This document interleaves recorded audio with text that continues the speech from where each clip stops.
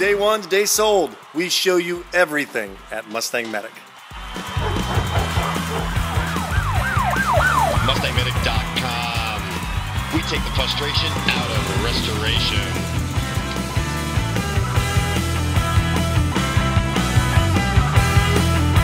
So you say it only has surface rust? Really? The 1972 Mach 1 Mustang Restoration Project. Is going to put the shields on now on top of the springs. Here we go. Paint being applied to multiple parts. All right, so Carlos has um, put the shields on, and there is the driver's side. So that whole part of the front end is complete. He's putting the motor mounts in now, and they're going back in. So we're getting very close, guys. I, I'm going to see a status on the motor soon. I think I'm going to do a wheels visit. But um, this basically completes the front end. Everything's new.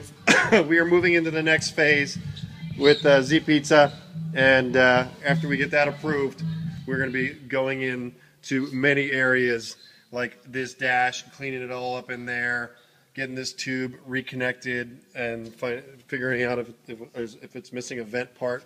We're going to find that out. and uh, we're going to be moving into sanding on this body, which is uh, is exciting, and bringing her down and getting her prepped because her engine's getting rebuilt, and she is moving into the paint phase. Once the paint's done, the interior is going back in. We are going to have to deal with uh, this steering wheel because it's not blue, it's black, so it's obviously not an original wheel. We're looking for an original wheel that is blue. We're sticking with the blue interior on this car, and it's considered a bright blue. Ford calls it a bright blue.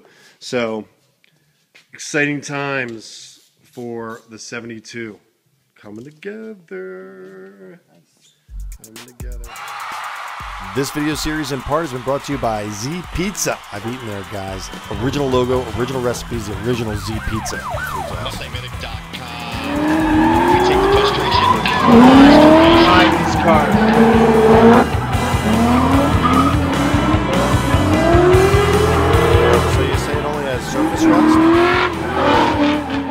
Please look for the link in the description below for the next in our series. If it's not there, come back soon. MustangMedic.com. We take the frustration out of restoration.